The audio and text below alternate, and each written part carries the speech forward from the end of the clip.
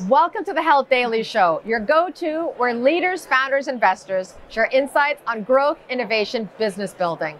I'm Chitra Nawbatt. Joining us today is Dr. Neal Patel, CIO of Vanderbilt University Medical Center. Neal, welcome. Thank you for joining us. Thank you for having me. This is great.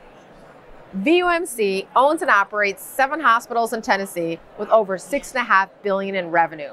Share with us the scope and scale of your organization. Well, thank you. Um, Vanderbilt is the premier academic medical center in this region. We have hospitals that provide the top-notch quaternary care. As well, we serve the entire community of Middle Tennessee as the level one trauma center and the number one provider of charity care in this area. What's unique about and challenging about your patient population and these regions that you serve? Well, while we're an academic medical center and a private facility, we have had a relationship with this community where we are the go-to place for care. We have the busiest emergency department in the region. We are the only level one trauma center in the region. We have a top-notch children's hospital that is ranked uh, nationally for the 15 consecutive years. We also have a transplant program that is not only the best in the region, we are the number one heart transplant program in the world.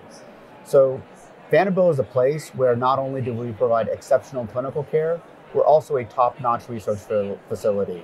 We uh, have over $500 million in NIH grants and are rising when most other places are trying to stay plateaued. And hopefully, what we can do in this region is continue to push how well the care of these patients in the southeastern region are is. We serve as a role model for the entire community. Given some of the dimensions you just talked about, transplants, some of those statistics, what are the implications for your for your organization operationally and economics wise? Sure.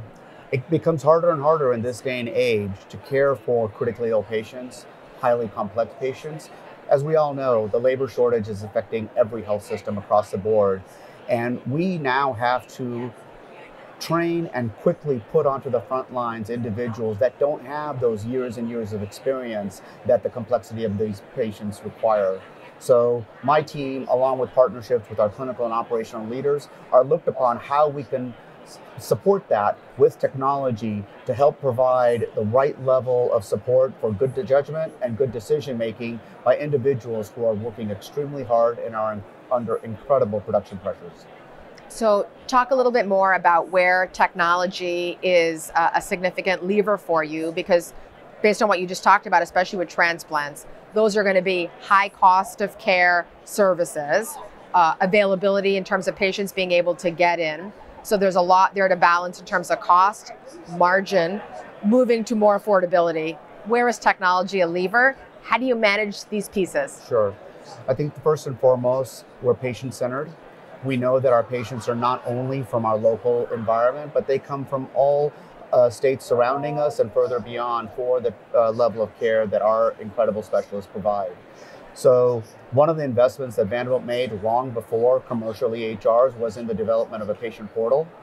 Five years ago, we converted to the Epic platform and we converted to the patient uh, portal at that time. We already had close to a half a million users. Within five years, we're now up to a million users of our patient portal. And that level of engagement where patients can not only follow their own healthcare, but communicate with our providers, see their clinical content directly, share their clinical data with their significant others as well as their delegates who are involved in their care is one of the ways that Vanderbilt is trying to make sure that we meet the patient where they are, and technology is a great enabler of that concept.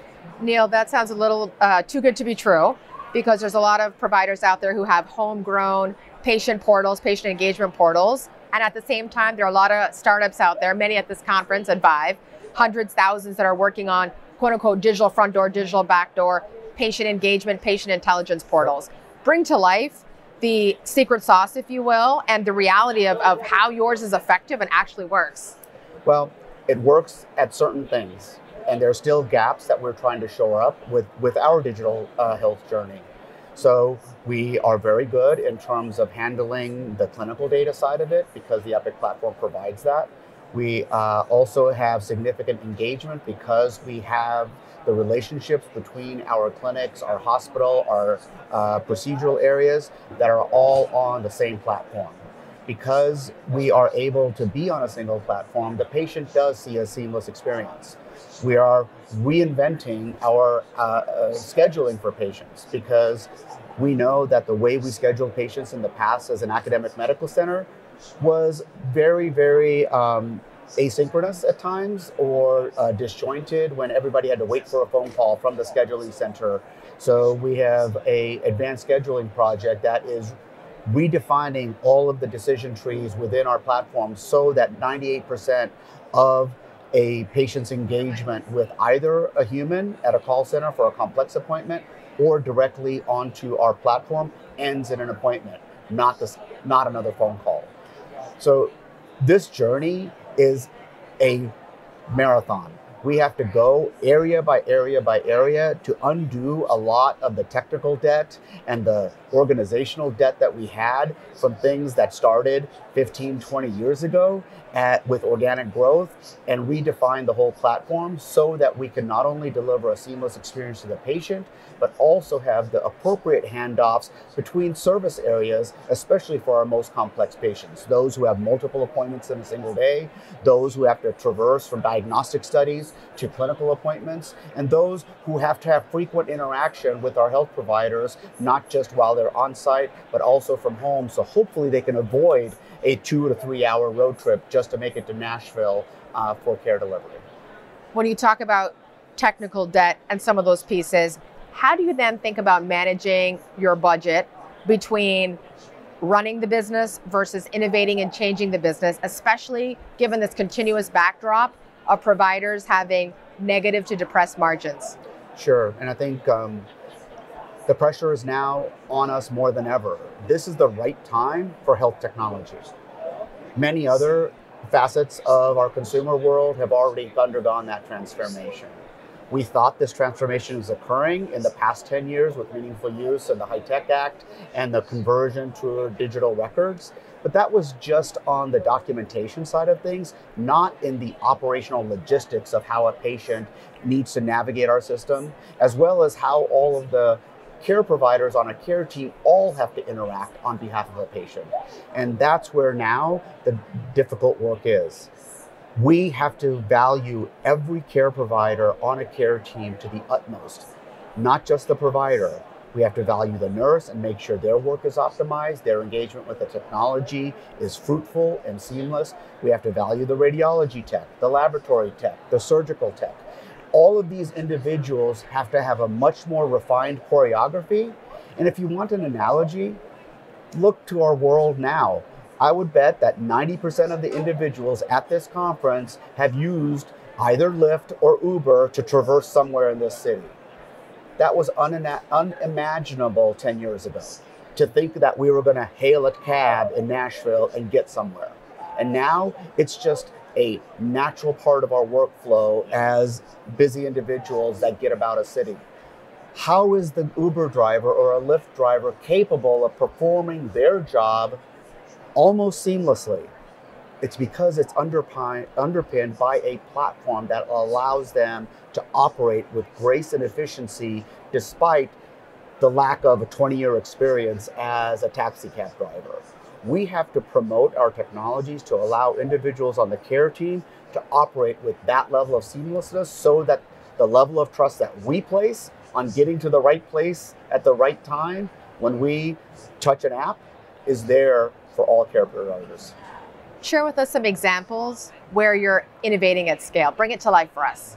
Well, certain areas that we're innovating, and I think it's a key distinction to separate invention from innovation a lot of these startups are trying to invent things for a gap they see, and I think their intention is absolutely spot on. Innovating, in my opinion, is leveraging things that you know in disparate areas and putting them together in a way that hasn't been thought of before and that can create a more seamless or a more value uh, proposition for the user or a health system like ours. So we used to be in the inventing game. We had our own homegrown EMR, but we also realized that to scale and to serve the needs uh, of not just our patients and our workforce, but also to meet the demands of the payer, uh, payers, the regulators, and also just everything that we are asked to do in terms of data interoperability, we have to now play within the confines of our major frameworks. For us, our EMR is Epic.